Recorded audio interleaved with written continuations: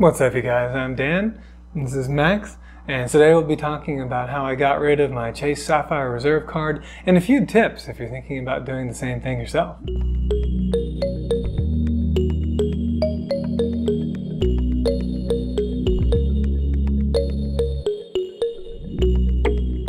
So I've been using the Chase Trifecta credit card strategy for quite some time. I really enjoyed the perks of having global entry and priority pass lounge access and the 50% bonus when your points are redeemed on travel. Check out my Chase Trifecta video for more details. Unfortunately though, now that Chase has increased the annual fee from $450 to $550, that's meant that the effective annual fee has gone from $150, because that's net of a $300 travel credit, to $250. And on top of that, they've gone from giving you $60 in DoorDash credit twice a year to just giving you a $5 a month allowance. And I believe it's use it or lose it. So it's really not as good a value proposition for me anymore. And then as luck would have it, along came the Capital One Venture X.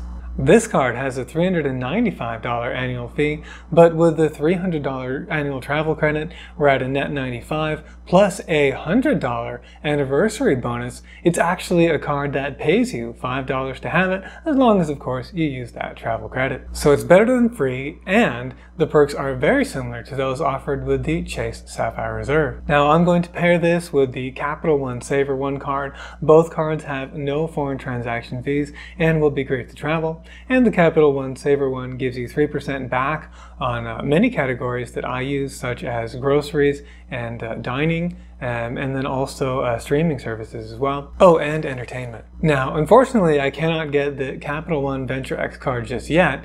And here's my first tip for you. I didn't know that this was the case. Capital One has a policy uh, that you can only get one credit card from them every six months.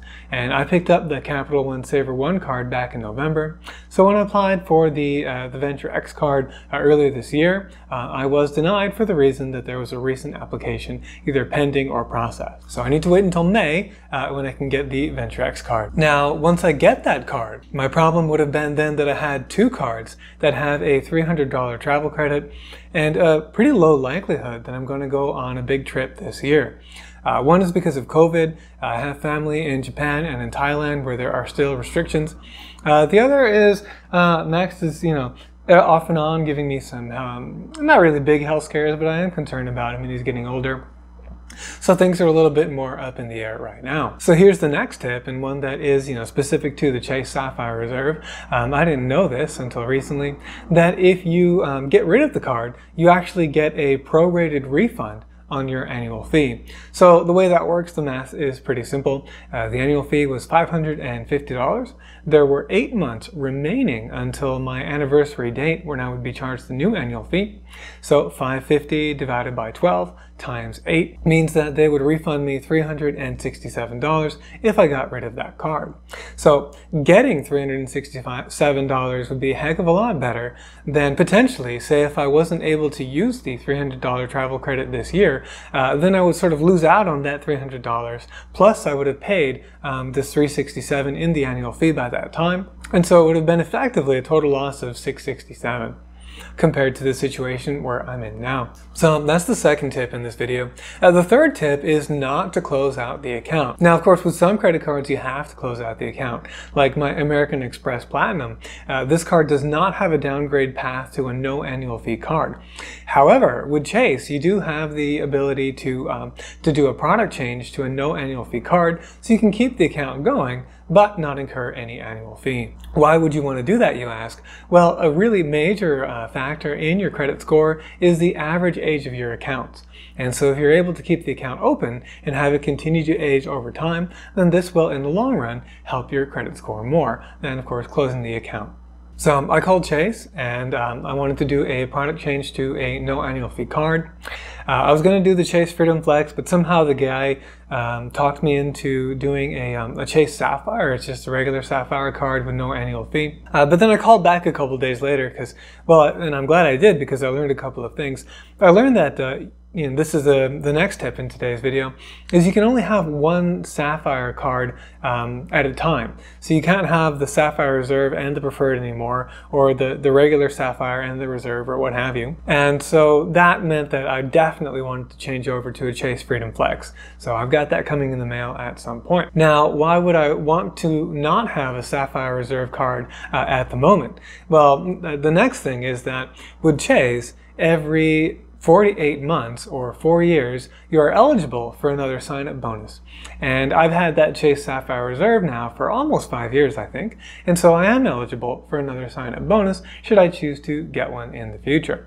And um, since you can't have more than one Sapphire card, then I would need to not have a Sapphire card at that time, and might as well knock that out now by product changing to a Freedom Flex instead of, of the base Sapphire. So why do I want to keep this option open even if I'm going to have the Venture X? If you think about it, let's say that the sign-up bonus is $600 or $800. Well, that's easily going to make up for the effective annual fee of $250, plus all of the points that I'm holding on to with Chase will then get a 50% um, redemption bonus for travel. And so that's roughly another $400 of value right now. So I'd get the sign up bonus, plus that minus the 250 we're looking at a really good value and hopefully I'll be doing more travel at that time. We shall see. Um, I'm not sure if I'm gonna you know get a new card next year or the year after that. Um, kind of things are up in the air a little bit but anyway it's, it's a good option to have absolutely. Quick side note here for those of you that are really good with um, you know airline partners and transferring those points over that's of course another option I could do that right now because um, there is a you know there is time value of money and I have these you know I have right now $800 worth of points points just kind of sitting there with Chase that I'm not doing anything with.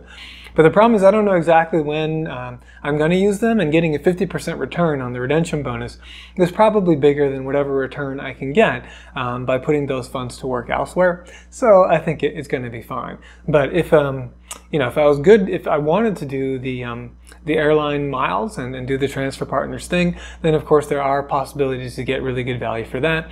And uh, you can check out other channels if you want to learn more about that. That's not my thing. So um, that's what I've done for now. I have now uh, no annual fees from Chase. I still have those points there I still have those points there ready to be redeemed with a 50% bonus in the future and eligibility to get a sign-up bonus once again for the Chase Sapphire Reserve. Um, and then I'm really looking forward to uh, adopting this new strategy using the Capital One Venture X and the Capital One SavorOne card, hopefully in May. Stay tuned for more details on that. But I hope you found the tips in today's video helpful. If you did, please uh, hit the like button and consider subscribing. If you have any more tips that you'd like to share with people that I didn't cover, please do so in the comments comments.